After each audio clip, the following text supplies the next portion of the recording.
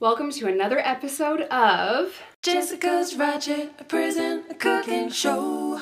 What's up you guys? Welcome to today's video. As you can tell by the title, we are going to be making prison tamales. If you guys are new here, hi, my name is Jess. I'm a person in long-term recovery who has served time in prison. My entire crazy life story is in the description box down below. If you want to follow me on any other social media platform, TikTok, Instagram, Patreon, that's $2.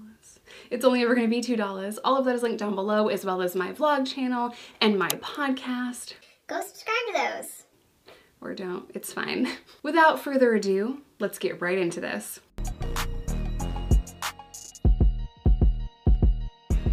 Okay, first things first, the ingredients always differ depending on what facility you're at and what you can buy on commissary or steal from the cafeteria, aka chow hall. So depending on what you can steal or what you can buy, uh, these ingredients might change. So our masa, let's start working on our masa first, which is going to be corn chips.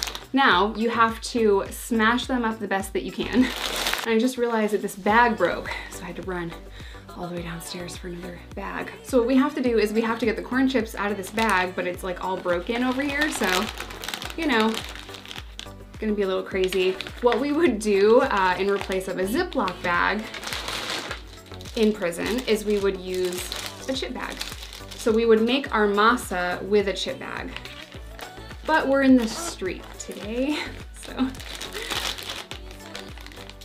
just gonna take a spoon, put our masa in here, smash it up just a little bit more. Now this is not going to be as good as authentic tamales. I love Mexican food. I love Mexican food. It's one of my favorite things. So this is not going to be authentic, but it's pretty freaking good, not gonna lie. So hot water into our bag to make our masa. And just by feel, you're gonna be able to know if it's enough water. Think about how masa feels, right? So that's kind of what we want here.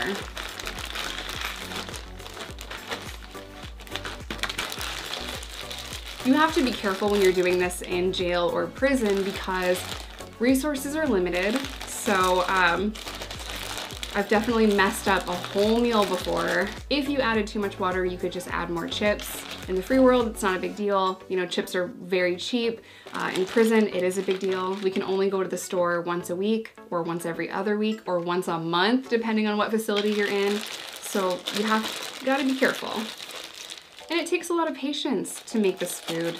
You know, I, I know I said, I've said in every single recipe that this really takes me back to learning how to cook and I had a passion for it. As much as you might see this and be like, ew, why would you want to eat that in the street? Like you're not in prison anymore.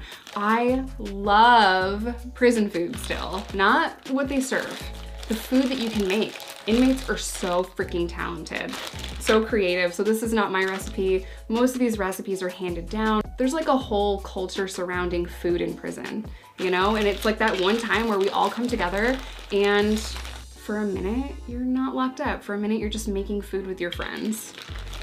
Also, it's hard to find friends in prison. Anyway, beside the point. So here I have chicken, just shredded like rotisserie chicken that I stole from the chow hall. I didn't. um, sometimes you can't steal chicken or sometimes they don't serve chicken. So a lot of times inmates will use tuna. Uh, they don't come in cans like this in a lot of facilities. They come in like the pouches. So tuna or salmon or even mackerel. I know, ew, eh, not a fan of mackerel.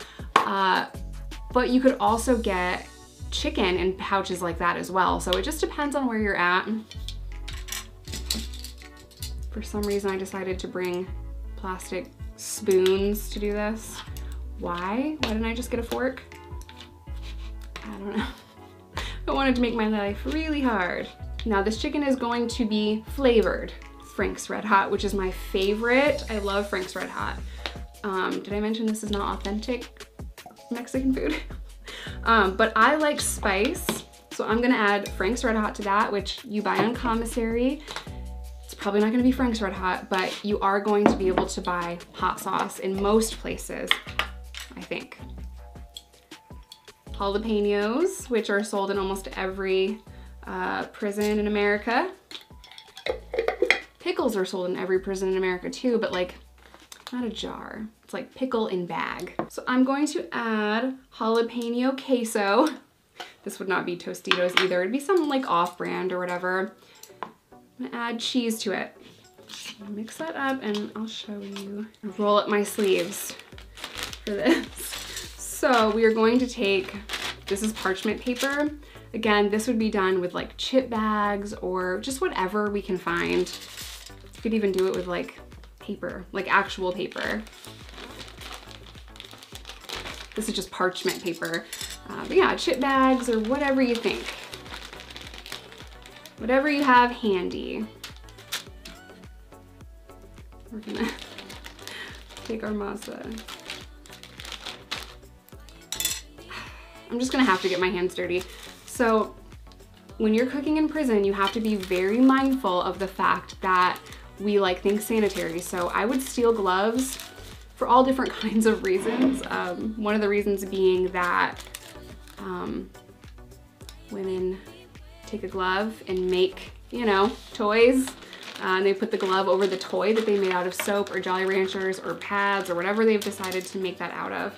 Uh, so I would steal the gloves and sell them to the women that wanted to make those toys. If you have been following the channel for some time now, you know that stealing was my specialty. Never from an inmate, always from staff or the facility, but it would be like garbage, like things that they don't care about, you know?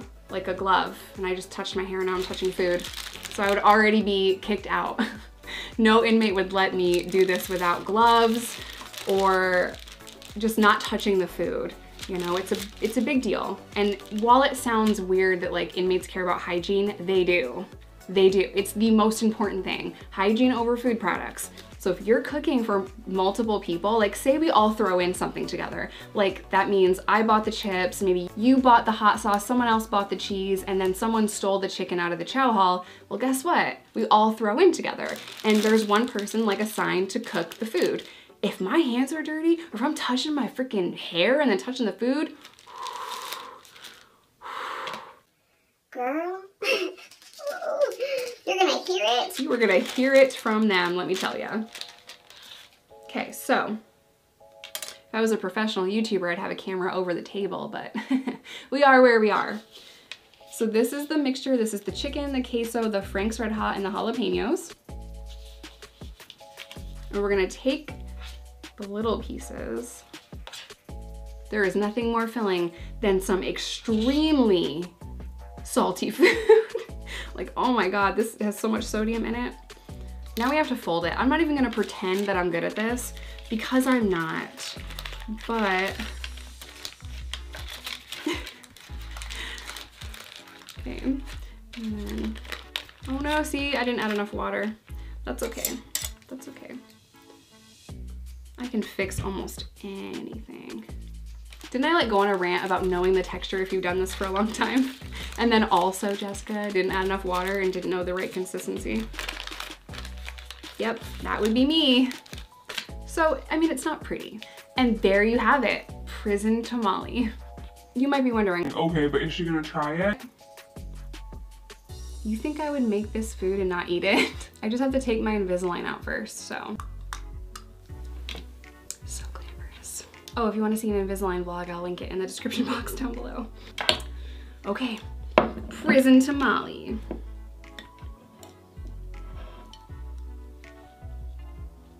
So good. Mm, hmm Food should make you dance. You know, like you should do a little shimmy after you eat some good food. If you don't do a little shimmy, shimmy after you get your food, your food sucks, I'm just saying. Food should make you happy, it should make you dance. And um, every single thing about prison recipes bring me so much joy. It's so good. It was like the only happiness that I had in you know, like a sea of pain. So if you try prison tamales, please tag me on Instagram. I would love to see them. And I'm also going to leave all of my recipes on a playlist in the description box of this video if you're interested in more prison recipes. I'm gonna end today's video here. As always, I love you guys. Stay safe, stay in recovery, whatever that looks like to you. But for now, I got a tamale to eat. Bye, you guys. I'll see you in the next one. Bruh, Invisalign makes you so thirsty. Oh my god.